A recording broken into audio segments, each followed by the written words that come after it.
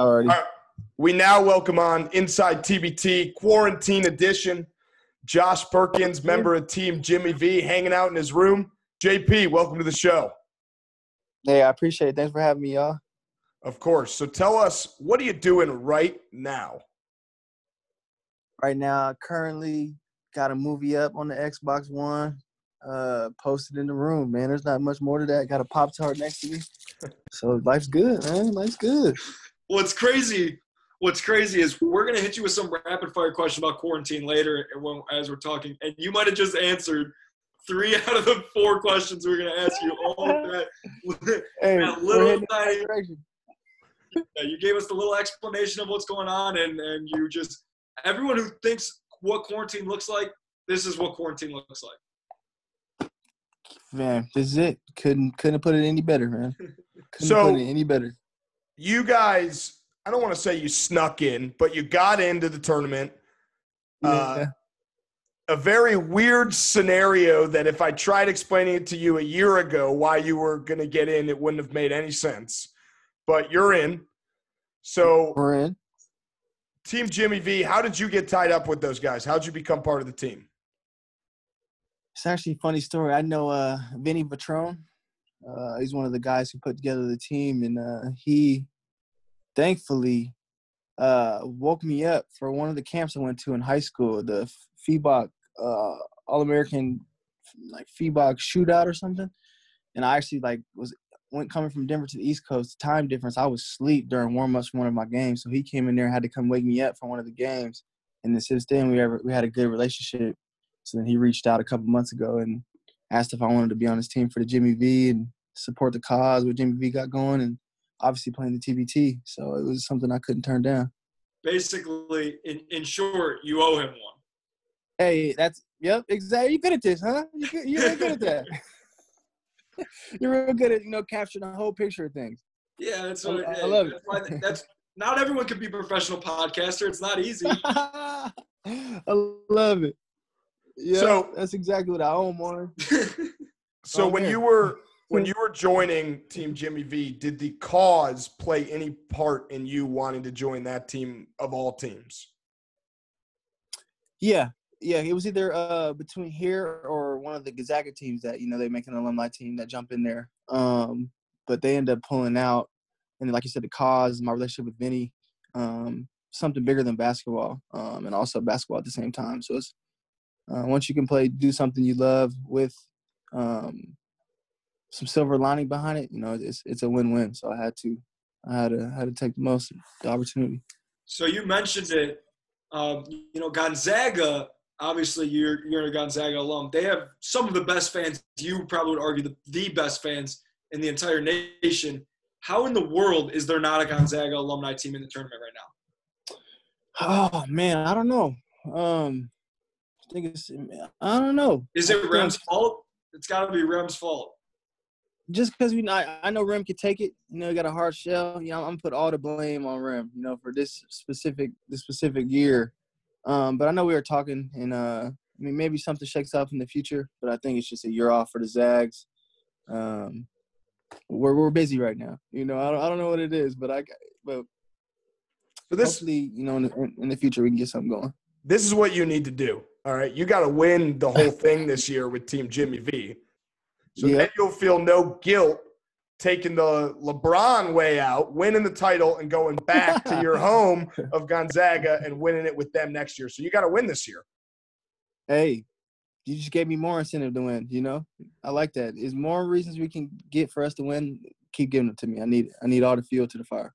Are you a LeBron or or MJ guy or Kobe guy or or Bill Russell guy? I don't know. I don't want to. I don't want to eliminate anyone. Is there is there a or? Does it have to be or? Can it be and? It, well, sure, it could be and. I, I'm an and. I like all those guys that you mentioned. Um, I mean, it's obviously a conversation we could have for the rest of the night. With who goes above who and whatnot, but I mean, all them guys deserve to be on the basketball Mount Rushmore, and uh, I'm just excited to see. Obviously, I grew up watching LeBron, so I'm excited to see what you know he- how his career finishes up. Um, obviously, one of the best, if not the best, to play basketball. So and coming out watching MJ's documentary during quarantine, all eyes were on that. Um, just seeing the stories that we heard, but we didn't actually get to see. Um, so I mean, obviously, those guys are unreal at the game of basketball, man. It's just glad I get to be a little small part of it. You know, I get a small part of it. Speaking of, uh, That's well. That's well said. They are unreal well at the said. basketball. That's well said. speaking of, speaking of goats, okay, you're Yeah. playing the uh, goat score in the history of Conference USA in round one. Yeah. Jon Elmore on Herd That. We are on record saying that we are Herd That fans, and we have Herd That winning winning that game. Change our minds right now. Hey, Johnny Elmore's my boy, but I'm thinking, I think it's. I'm telling you now, you probably should hop sides. You might as well get on the Jimmy V bandwagon now. But tremendous scorer, as you said, big time individual, big time human, and uh, he can shoot the piss out the ball. So it'll be. I'm looking forward to the matchup. I'll say this. I'll say this. First of all, I, you know, shooting the piss out of the ball is something people say, but every time you say it, it's funny. You know, it's so. hey, it's true. I only say it for guys that it's true for though. No, you're 100 percent right. Like you and me can shoot the piss out of the ball too, but you know, we no one on the podcast is saying that about us. But Right? um, uh, my my question to you Yeah. is every year you see in the NCAA tournament a team that sneaks in, quote unquote, ends up making a run. Is that, clearly that's got to be you guys this year. You're the only team that snuck in. Exactly. We we literally snuck in, so we might as well sneak into the tournament like we did and, and just keep going, ride the wave that we're on right now. You know what I mean? So uh, we we have to. You said it, there's always one team. It might as well be us. We might, it might as well. It's like the playing 11 game seed. we need it all, man.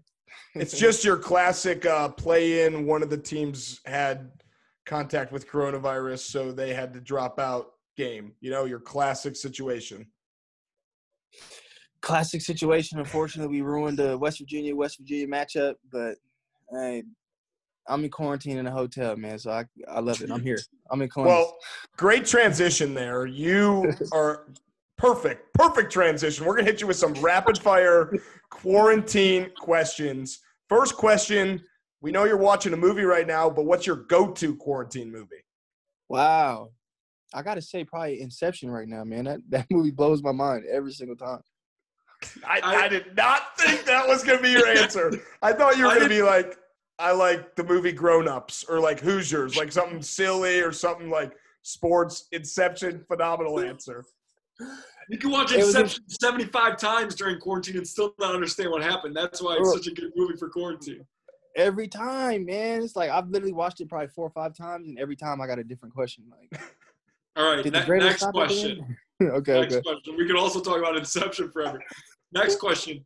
Go Yeah. to quarantine video game. Wow. So I'm not really a video gamer. Um, but I've been playing Mortal Kombat 11 a lot. Story mode got me locked in, fellas. Got some time. Some time was passing with it, man. And, uh, whoever made that game, the creators of that game, my, my hat goes off to them. They, they did their thing on this one. We can tell you're not a video gamer because you said video gamer and not just gamer. So we can tell that you're not a gamer. See, I gave it away from the from the jump. All right, quarantine go to snack. Is it what you have right next to you? I haven't had a Pop Tart in probably months, but I'm smacked this one here. This, my teammate Marcus Towns gave me this one. This this Pop Tart has no chance of making it tonight. Did they- go did they- snack. When you walked in, did they give you a bunch of snacks or no? Mm-mm. Oh, TBT dropping the ball. I could have been on the know. snack committee. That's what I really could have done. Me too. Shoot, for tomorrow we can go get something for the guy. No, you I'll, can't leave. I'll DoorDash you guys something. What do you want? Whatever. I'm not anything but mayonnaise on my end. I wonder if are you allowed to DoorDash stuff? Not tonight, I guess, but after this we are. Okay. So How are you Going gonna know? How are you gonna know that you can leave your room? Does like a buzzer go off, or does someone come knock and say, like, come out?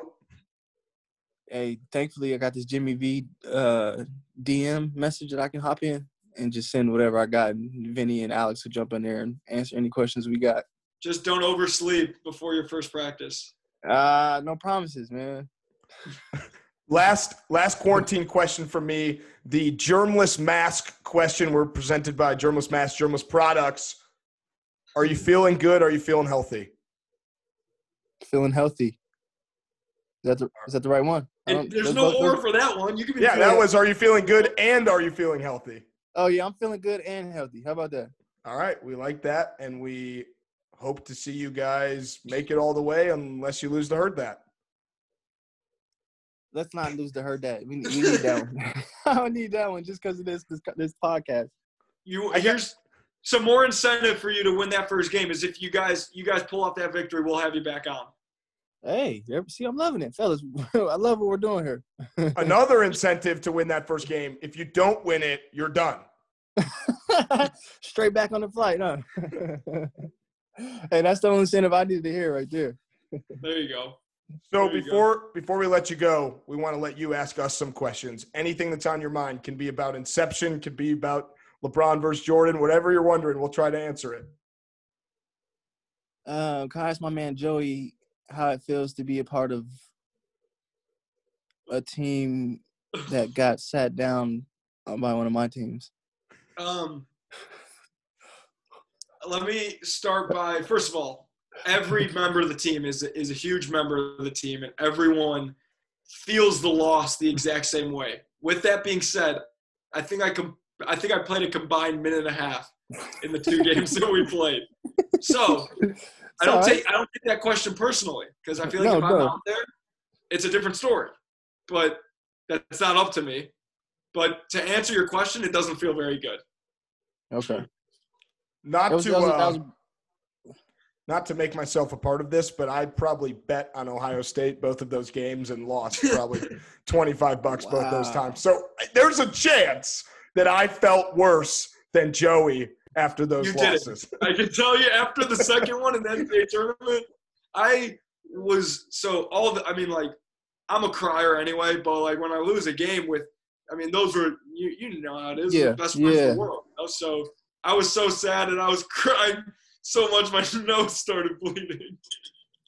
So I can Wow. tell you so I can tell you that Andrew, I don't care if you lost a thousand dollars, you weren't more sad than I was.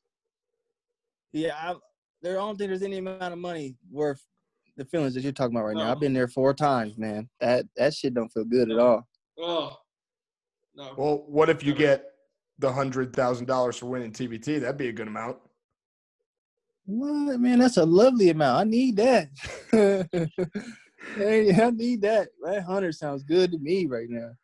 All right, Josh Perkins, thanks for joining the show. We're wishing you the best, but more importantly, we're hoping when you finish Inception tonight, you understand the ending. hey, hey, I appreciate y'all having me, guys, but that accession thing is, is I'm lost. I just gotta accept the fact I'm lost. All right, All right, man. thank you, man. We'll talk to you. Fellas, y'all have a good night. You too. All right, now.